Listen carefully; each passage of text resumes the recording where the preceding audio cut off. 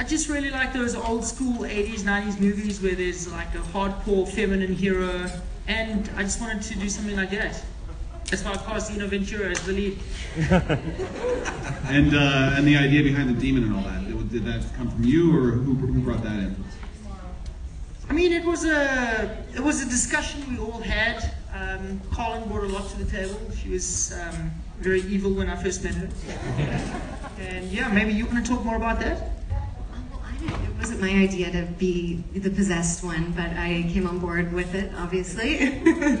um, And how did you prepare for a role like that? um, I guess the preparation for um, a role like this is more, it's like a lot of um, physicalization for me because I didn't have a ton of dialogue.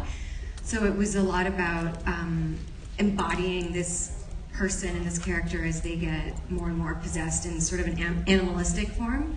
So working a lot, I actually worked a little bit with my um, vocal coach in terms of like movement and and how yeah, just kind of how to embody the energy of what that is. And once you were fully in the makeup and uh, and Oh, actually did that helped. did that help a lot? Oh yeah, yeah. The the makeup was one of the most interesting things about the whole process. I would get to set, I think like two hours before everybody else, and I would sit in a chair and they would just apply, um, what was it, like prosthetics. And they would just like, first they would glue it, this was so long ago, I can't remember, but they would glue the prosthetics to my face and then they would airbrush and just sit there and paint. And it would, like, literally, I'd be there for at least two hours getting this done. So after that happened and I had the contacts in and greased my hair up, I was like, all right, all right, I'm feeling it now. um, it's a place called Egoli Gas. It's been abandoned for about 40 years. Um, yeah, it's an old gas factory. It's actually, um, there's radiation there. We didn't tell Carlyn about it, but she's still got all her hair. Everything's sweet. Yeah, we actually, uh, no, it's a specific radiation that affects. Yeah, yeah, well, sorry, man. Yeah, but actually, it doesn't affect people. It affects cameras. We actually had two cameras that, like, the little pixels were dying. We didn't know what the hell was going on. We thought the place was freaking haunted as well. Yeah. So yeah. Did, did you have to have like a lot of health and safety on set uh, for a location like that? Like, Yeah, this is South Africa, dude. We just do it, bro. Health and safety, that means nothing in our country. So there is actually this thing called the Codex Vaticanus that sits in, in the Vatican City in Rome, and they, they do believe that it's written by God. Um, so that was the initial inception of it, and we thought, well, maybe there is this force field that demonic activity happens the further away you are from it. I mean, that was the inception, but I mean, it's it's all bullshit. This thing's not based on anything true. like, I wish I had an intellectual answer to that, but I don't. Um, we hired guys that we could afford, and they did what they, they could do. And, you know, we had some, some changes and stuff, but were you at all hands on in that particular process? yeah, we all were. I mean, the only interesting antidote was, you know, I mean, it was mixed in an old church. They turned an old church into a viewing room just for the size of it. Um, this was the first kind of film that they had done. And, um, yeah, just some crazy, weird motherfuckers mixed this movie and did the, did the sound. And they went and recorded stuff um, in the woods by themselves without asking us and just did some really weird stuff. And Well, I noticed like uh, every time the demon's in pain, you hear like squealing pigs, and there's like layers of multiple animals and things. Like No, that's from my old sex tapes. Well, just filming with this like is like a bit of a mission every day. You know, it's hard being an actor with a director like this. I'd like check the camera, do everything myself while he just sat there drinking. So it was tough.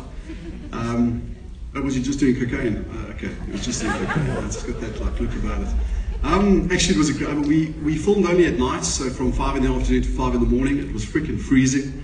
Um, there was a lot of parts I enjoyed. Um, when my so-called little daughter comes out with that face, and I just couldn't get the gun out fast enough. That was funny. We had a good laugh with that. Like once I got caught on my um, scarf and nearly shot myself. So yeah, it didn't look so cool then, but yeah, that was pretty cool.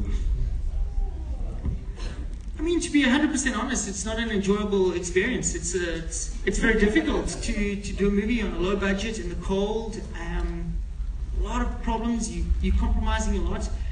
But when you look back on it and, and you see it on the big screen, I mean, we, we're, we're small guys from Johannesburg, and, and here we are in second best city in Canada, and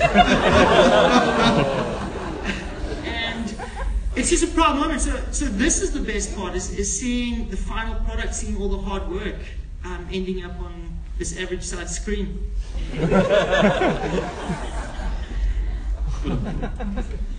Um, I guess one of the hardest film uh, scenes for me to film was the exorcism, just because it was extremely emotional. Um, yeah, it was actually emotionally demanding, but mostly physically demanding. Um, it was really cold that night.